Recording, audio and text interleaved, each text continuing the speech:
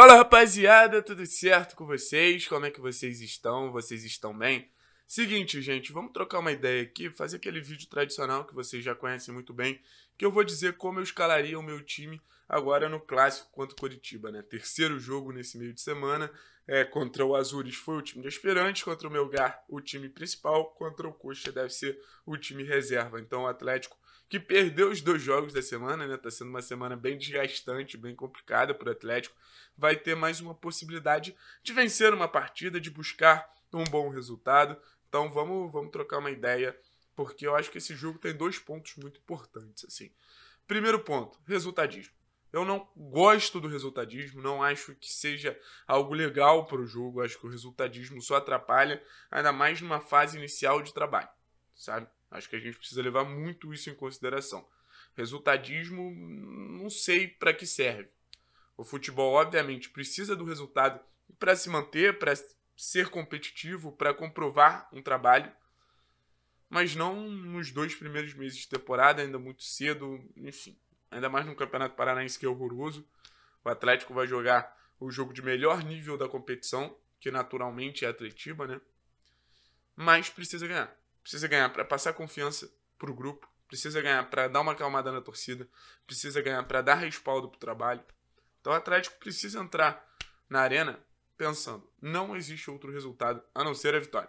Obviamente o pensamento tem que ser assim todos os jogos, mas eu acho que esse tem um senso de urgência muito maior. Então, acredito que vencer o Coxa pode ser o início de uma reação depois de um começo de semana ruim, depois de uma situação na Sul-Americana ficar um pouco complicada. Então, esse é o primeiro ponto. Ganhar baseado no resultadismo. Segundo ponto. Os reservas precisam mostrar que podem ser úteis de alguma maneira para a equipe principal. O Atlético que, cara, vamos ser sinceros, vai precisar mais do seu elenco. O Atlético, que vem utilizando basicamente as mesmas peças ali nas substituições, vai precisar mais do seu elenco para essa reta final de primeira fase do Sul-Americana, que eu estou preocupado.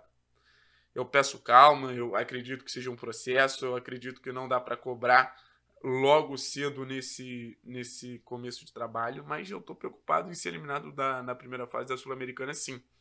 Então é um bom momento para alguns jogadores terem uma minutagem ao ponto de mostrar. A gente pode ser útil, a gente pode ajudar, principalmente no último terço do campo. Então, vou falar minha escalação para vocês, uma escalação que tem uma certa cautela, mas também tem uma certa ofensividade. Eu mudaria um pouquinho a estratégia que vem sendo feita. Mas vamos lá, vem comigo.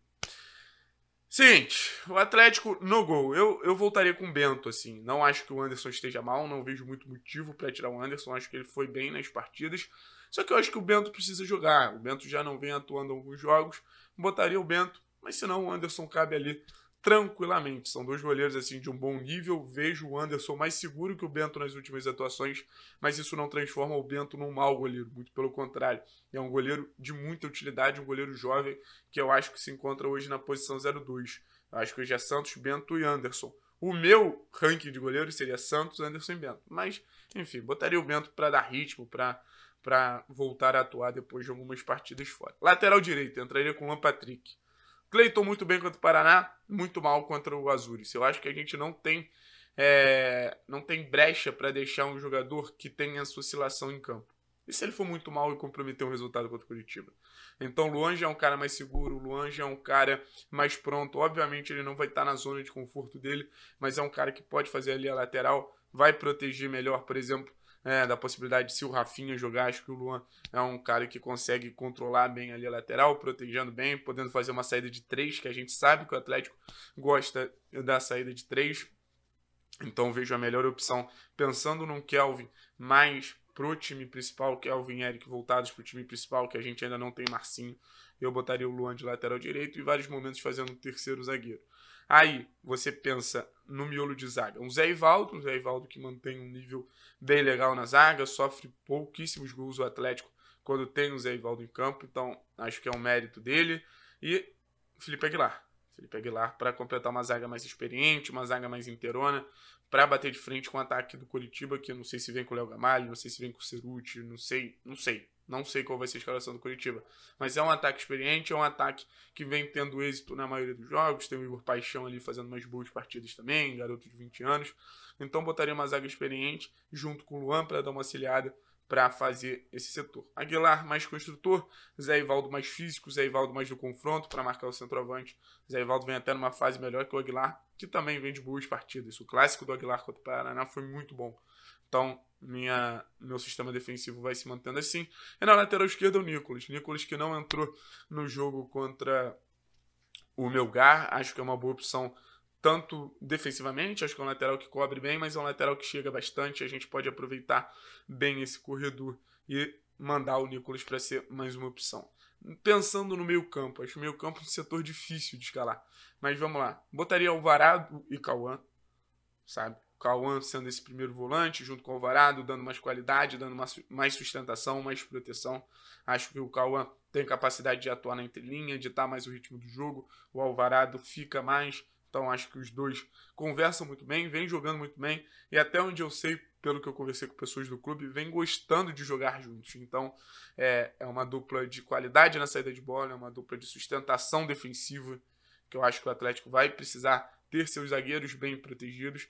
Então Cauã e Alvarado, não acho que isso torne o time defensivo, sabe? Acho que você tendo um Nicolas, você tendo um Cauã que sabe jogar, eu acho que fica bem legal.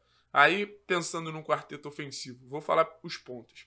Jajá de um lado, Iago do outro.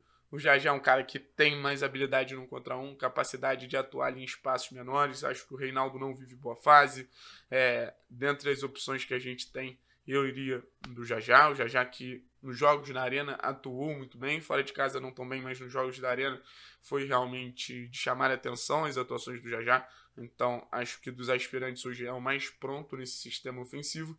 E do outro lado, Iago, mais um reserva do time principal, um jogador que pode jogar aberto, pode jogar mais por dentro, e é o tipo de jogador que eu quero ver, que ele pode dar um recado muito interessante para a equipe principal, do, por exemplo, não ter o Carlos Eduardo, eu posso entrar. O Jajá é a mesma coisa. Tá precisando de gente na frente? Me leva. Eu posso ser útil. Então acho que esses dois jogadores têm uma responsabilidade naturalmente com o jogo mas tem uma responsabilidade também em deixar um recado para, cara, Antônio Oliveira, me observa. Você está precisando de gente nesse ataque e realmente a produção ofensiva do ataque do Atlético, da equipe principal, precisa de novos nomes, precisa dar uma oxigenada. Eu acho que o Jajá e o Iago podem ser bons nomes.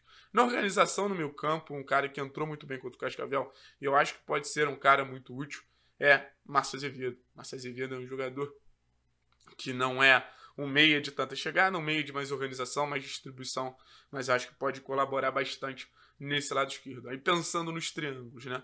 A gente teria um triângulo de saída de bola de Alvarado, centralizado, Zé e Zé pela esquerda, Aguilar pela direita, triângulo pela direita de Luan Patrick, sendo um lateral que avança mais um pouquinho. O Luan pode fazer essa saída de três também, mas acho que o Luan pode dar uma avançada um pouquinho, começar a construir mais no campo adversário. Aí você teria Cauã sendo esse interno e Iago dando amplitude. Então a gente sempre tem que visualizar bem os triângulos. Teve gente ontem, cara, que ficou falando mal dos triângulos. Ah, o que, que importa se o time não ganha, mas tem os triângulos e tudo mais. Então, é, na saída de bola, Alvarado, Aguilar, Zé Ivaldo. No lado direito, Luan Patrick, Cauã, Iago, lado esquerdo, Nicolas Azevedo, já já um lado esquerdo bem forte. E na frente, cara, eu daria minutagem pro Matheus Babi. Acho que o Babi tá precisando dessa minutagem, o Mingote não vive boa fase. Até pode ser mais um jogador para dar um recado que, pô, quem sabe não pode entrar Babi Kaiser contra o Metropolitanos, gente precisando de gol, Babi não acho que tenha entrado mal contra o time do Melgar, não. É um jogador que dá possibilidade do jogo aéreo. A zaga do Coxa é uma zaga física. A gente sabe que o Curitiba, desde a temporada passada, tem um time mais forte, é, fisicamente mesmo. Então acredito que a entrada do Babi pode ser uma boa. Então, um time com algumas reservas: Zé Ivaldo, Aguilar, Bento, Nicolas, é, Márcio Azevedo, Iago, Babi, que dá uma sustentação a Jajá, Alvarado, Alan Patrick sabe? Então acho que é um time equilibrado, acho que é um time que pode dar um resultado num clássico onde a vitória é mais importante que o desempenho. Obviamente o desempenho é sempre muito importante, mas nesse clássico especificamente a vitória é mais importante que o desempenho. Então o que eu quero trazer aqui é jogo decisivo. Vou, vou acordar tenso já para esse, esse confronto. A gente vai entrar três horinhas antes do jogo para fazer um pré-jogo. O Coxa vai lidar como, com uma possibilidade de ganhar a gente. Os caras não estão na Série A, então os caras vão entrar como final de Copa do Mundo. Então a gente precisa ser competitivo pra cacete. Porque ganhar do Atlético é algo que o Curitiba sempre vai querer. Ainda mais nessa questão de superioridade que, o, que a gente vem mostrando nas últimas temporadas. Então a final de Copa do Mundo para eles é uma oportunidade de se recuperar pra gente. A gente está jogando em casa, num gramado que a gente conhece, num campo que a gente se dá bem. É ser agressivo, é ser ousado no último terço, é buscar o drible sabe? Então, o que eu tô falando aqui é o seguinte: vamos com tudo. Vamos com tudo, não tô muito animado, acredito que a maioria também aqui não esteja tão empolgada pro jogo, mas no final das contas acredito que a gente faça faça uma boa partida. Acho que o Atlético se mantém organizado. E organização, primeiro ponto para fazer uma grande partida, beleza? Tamo junto, né, rapaziada?